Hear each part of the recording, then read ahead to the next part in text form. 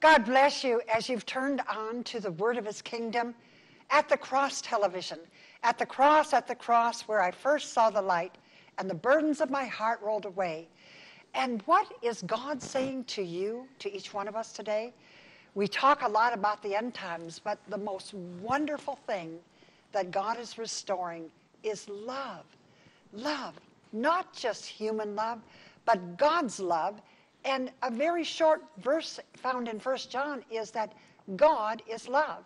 And so, for my guest today is my dearly beloved husband, and he is love. He is going to read from 1 Corinthians 13. All right, here we are in the holy word of the Lord, 1 Corinthians chapter 13, verse 1. Though I speak, though I speak with the tongue of men and of angels and have not love, it's pronounced charity or written charity in some versions. Though I speak with the tongues of men and of angels and have not love. In other words, if I'm the world's greatest uh, speaker uh, and is known or am known or will be known or have been known as uh, the silver tongued orator, mm-hmm. in other words, smooth talking, no mistakes. It sounds like the sound of a trumpet, a certain sound. So if you have a certain sound, you know which direction to go, go which when an army is on the battlefield, the trumpeter, if he gives a half-hearted effort on the trumpet, well, the soldiers or the military people don't know what to do. But if they say charge, let's charge and let's all do it together.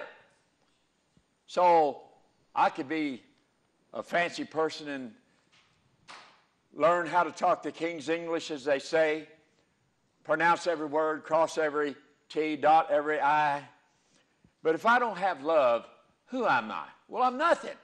Just a, like a tinkling cymbal, which means nothing. And real quick, let me just make one more statement. And I want my lovely bride to make a bunch of comments, and I'll be on standby as a backup.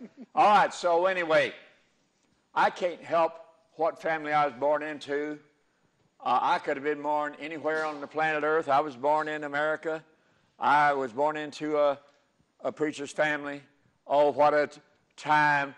What a wonderful childhood as I learned and heard about good gospel singing, the infallible, everlasting word of the Lord that was preached under the anointing. And we love everybody on planet Earth. There's no such thing as a uh, kind of area of people or a kind of people that are low grade, uh, like they talked about Samaritans in the Bible. Well, the Lord took care of that. he took what they it was so called a degraded, uh, a degraded uh, people lower than the rest of them, which is not true. There's no such thing. That's called prejudice. Well, God hates prejudice. And we love all nations, all people on the planet. Wherever you are, we love you. We, we have nothing against you, no prejudice in our hearts whatsoever. Uh, Jesus said, Cry out and shout, thou inhabit, inhabitant of Zion, for great is the Holy One of Israel in the midst of thee. Uh, there's the Lord God in Israel. There's the Lord God in Egypt. And out of Egypt, he called my son. There's a Lord God in every nation on the planet regardless of what nation you're in, the Lord God is there. And you're His people. So we love you. Be blessed in the name of the Lord. And let's go forward together. And we're going to be in glory land together because the Lord Jesus is not prejudiced. He welcomes all people, all nations, all people on the planet. Here's my lovely bride in living color. Oh, how wonderful she is. She's anointed of the Lord. She's very beautiful. She has a ministry. God bless you. The most wonderful ministry. It's really not my ministry, my ministry or Ken's ministry, but it's the ministry of the Lord. And by His grace and mercy, He's chosen us to be able to proclaim the Word of God. What are we proclaiming today? We're proclaiming love. What is love? There's all kinds of ideas of love, but the greatest love is the heart of the Father that He loved His Son. For God so, and He loved us so much that he was willing to send his son. But let's go on and hear the description of love. And through it, we can find out where we're missing it. We can find out and we can repent of our sins. We can turn around and we can ask God's love to cleanse us through his blood. So let's just go ahead and finish First Corinthians chapter 13. And as um, Precious Ken spoke, though I speak with the tongues of men, and he said, the silver orator, but if there's no love in my heart, and we've heard also men and women that could sway nations by their own ability because of a gift they did not recognize it was from the Lord. And so, unto their own end. And we've seen dictators of nations and terrible, terrible leaders do just that. And so, God is not in that. And, but He is in true love that can only come from God. Uh, and though I have not love, I become as a sounding brass and as a tinkling cymbal. And we've seen many nations fall, many kingdoms fall, because the only love they had was for their self aggrandizement, and they hurt the people of their nations. And I want to tell you no matter what nation you come from, there is a nation that is higher than an earthly nation and it is the nation, the kingdom of God. It is the kingdom of God on earth. Jesus came to give, bring the kingdom, and it was a kingdom of love. It was not an earthly kingdom, but in due season, and not that far off, he is going to come to establish an earthly kingdom. The, the Jewish people will again recognize Messiah, and his is indeed a kingdom of love. And so, though I have the gift of prophecy and understand all mysteries and have all knowledge, though I have all faith so that I can remove mountains and have not love, I am nothing. So it also talks about in the end days that the latter house will be greater than the former house. But something is missing even though we have all the gifts flowing, because God does not take back his gifts. We're actually born with these gifts, and they do not come to glorify God until we're born of the Spirit, washed in his blood, and we become his child. And then filled with the Spirit, that we might begin to hear his voice, that we might be able to bring the blessed Lord Jesus into the earth. Not just his gifts, but his very character, his very nature. Yes. And that is exactly what the nations of the earth want. For God is love. And I'm telling you, if you have not known love, God will reach out to you right yeah. this very moment. For he loves you so much that he created you. You are a very special person because God has created Praise you. And so, though I bestow all my goods to feed the poor, though I give my body to be burned and have not love, it profits me nothing. Yeah. And so then, all these things, if they're given out for self aggrandizement, to say, well, look at me, I am such a good man, I'm such a good woman, I've given so much to charity. No, good works will not get us to heaven. Yeah, right. It is a contrite spirit that recognizes their need for a Savior. For we've all sinned and come short of God's glory. And so, as we begin to think about what love really is, I want you right now to touch the loving hand of God. He loves you so much. And God has so many wonderful names, but his full name is the Lord Jesus Christ. Lord standing for Father, Jesus the Son, Christos, yes. the anointing of the Holy Spirit. And so reach out. He came. He came from the Heavenly Father to bring you his love. And he proved it that he died on the cross while we were yet sinners. Christ died for us. While we were yet rebellious, he reached out his hand right now. Reach out. Reach out. He loves you. He loves you. Let his love heal you right now. And just with all of your heart, recognize what he's done for you. And just say this prayer with your heart. Say, Jesus. Jesus. Come into my heart. Come into my heart. Forgive me of every sin. Forgive me of every sin. Wash me in your blood. Wash me in your blood. Write my name in the book of life. Write my name in the book of life. Baptize me. Baptize me. In your Holy Spirit of in love. In your Holy Spirit of love. Lord, I need you. Lord, I need you. Thank you for dying on the Thank cross you for dying on the cross for me. Thank you for writing Thank my you heaven, for writing my name, name in heaven. My name in heaven. In the name of Jesus. In the name of Jesus. Amen. Amen. And it's so important that after you've received Jesus, Praise the Lord. He gives you that grace. And you, as many as received Him, the Lord, into their heart, gave he the power or the anointing of the Holy Spirit to become a son or daughter of love uh, of God. And so now we're going to describe love. All right. We're going to bring that description. Would you like to read that, honey, from verse 4 on down? Can Would you like the All right, glasses? now. Here they are. Let me just mention this. Uh, the holy word of the Lord, the infallible, heaven sent, Holy Ghost inspired word of the Lord, everlasting, eternal, set in heaven. Though heaven and earth will pass away, his word will never pass away. I'm telling you, I've seen preachers, uh, they get excited. They're talking about the word of the Lord. Something happens down under that fifth rib, and they're what they are. They're bench jumping, uh, hallelujah shouting, aisle running, uh, mountain moving, uh, devil rebuking, Bible toting preachers. But they've got, they've got to have love, so Yes. read the rest. Yes, so love is a, uh, we're going to be reading here this real quick. The weapons of our warfare are not carnal. Just a quick comment on this. Uh, when Jesus came along on the scene, there had been many battles, this dictator, that one. Some would lose, some would win. So they thought, aha, Jesus. So they wanted to rally him to, to be the leader of the troops.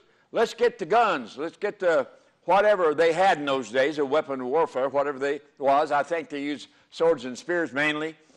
And so some thought that, oh, he's going to be a great leader. He's going to lead us on the battlefield of victory, and the enemy's going to lay there slaughtered.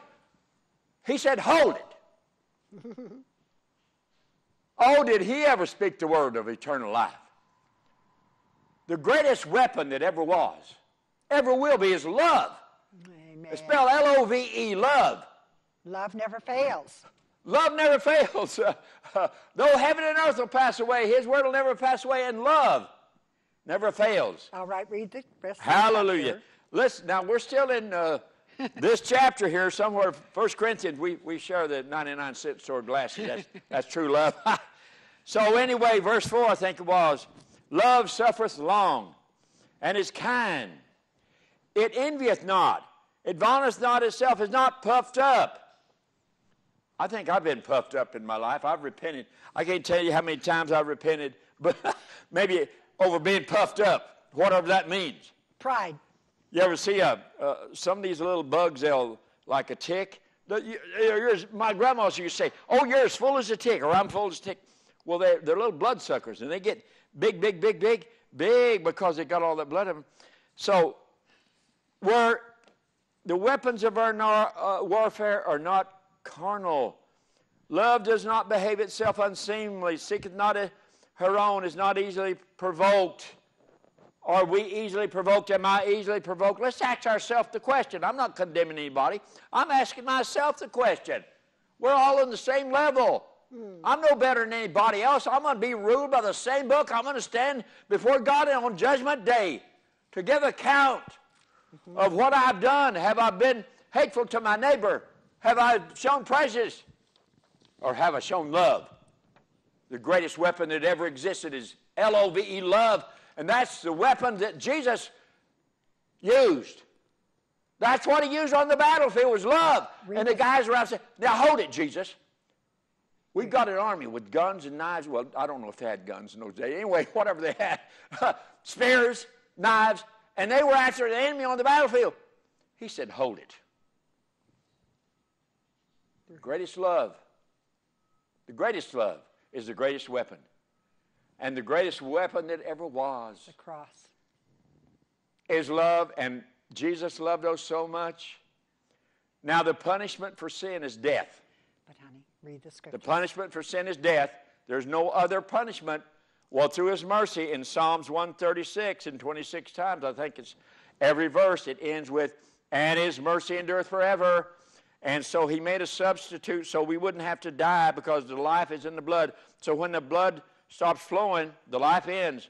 So no blood, no life. So the substitute in the old days was an animal. Then Jesus came as our permanent sacrifice. Now, verse 7 love beareth all things. My, my, can you bear, can we bear, can I bear all things? Well, I don't know. I, I'm a complainer. Oh, I can't tell you how many times I've, I've uh, repented from complaining. Now, the Lord said He inhabits the praises of people, right? He inhabits the praises of people. He did not, he does not inhabit the praises of the complaints. Get it? Read I hope I got it. All right. Seven, verse seven of, of 1 Corinthians chapter 13. Beareth all things, love beareth all things, believeth all things, hopeth all things, endureth all things. Oh Lord, help. I'm in a trial. Can I do it? Endure it. Well, if I call on Jesus, I can. Love never fails. Verse 8. But whether there be prophecies, they shall fail. Whether there be tongues, they shall cease. Whether there be knowledge, oh, some people think, ooh, uh, ooh, I'm a prophet. I'm important. Or I'm a pastor. I'm important. Garbage. We're important if we please God and have love. Hallelujah. And, our time, Finish we've got up. five minutes left, so I got to hurry on here. Huh. Well, if you're tongue talking, that's wonderful. And if you're a prophet, prophet, that's wonderful. But the most wonderful thing is you have love in your heart for everybody. Or you get up there and prophesy and then you hate your neighbor. Come on now, look out. Ooh, ooh, the devil's in trouble because he's messing with God's people. Finish. I have questions All right, here it is. I got to hurry. Tongues are going to cease, whether they be knowledge. Ooh, I'm a smart guy. It shall vanish away. For we know in part and we prophesy in part. Okay, and on and on and on and on. And uh, last verse, 13, I'm going to skip down because I'm kind of in a hurry. You get it? And now abideth faith, hope, and love, these three. But guess which one of the three is the greatest? You got faith, which could move a mountain. And, and he said, without faith, it's impossible to please God without faith, right? And you got hope. I hope God's going to save me. And then there's have. love. Which one's the greatest? Love is the greatest. My lovely bride, what's happening now? Now, I, I take your glasses. The 99 cent store glasses, there they are. We're sharing them. Maybe we can afford to get two pair later. All right, I'm going to ask you some questions. uh oh. You got to be smart, so you've got to ask me some questions. Help me, Lord.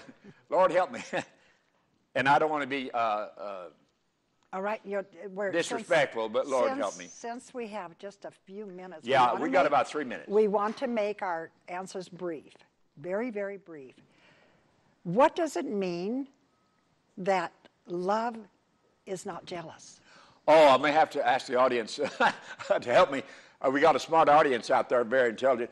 Well, uh, did you say jealous? Yeah. Well, if you're a Christian and you're full of love, you're not going to be jealous anyway, right? Because love handles every, it endure, it endures all things, That's right? good You know, didn't I just read that? And uh, what does it mean that love doesn't vaunt, advance not itself, nor is it puffed up? What does that mean? Well, I'm Mr. Tough Guy, Mr. Important. See how important I am. You, well, look how important I am. Well, I'm not important unless I please the Lord God Almighty. What does it mean? Oh. What does it mean You got to hurry here. uh, that it doesn't uh, it doesn't seek her own? What does it mean? Well, in other words, if, if all the people on the earth were the color blue, and I was the color blue, and some guy came along, there goes one of those guys, he's from green. Oh, oh no. Don't let that fella, he's green. Don't let him in our camp where all the blues. Oh, and here comes somebody else, red. Here comes somebody purple. Look out! Oh, God help me! I can't stand all these colors. I, uh, uh, I, I, I just want to stay with my, my own. Now, garbage. don't you think- Garbage. Don't you think, Mr. That's Meyer, garbage. What? Dr. Dr. Meyer? I'm a doc. I uh, well, well, thank you. All right. Don't you think it means if it doesn't, if, if love isn't unseemingly, that doesn't mean that I going to be the life of the party. It's all about me. But as a Christian, it's about him, and I prefer the other person.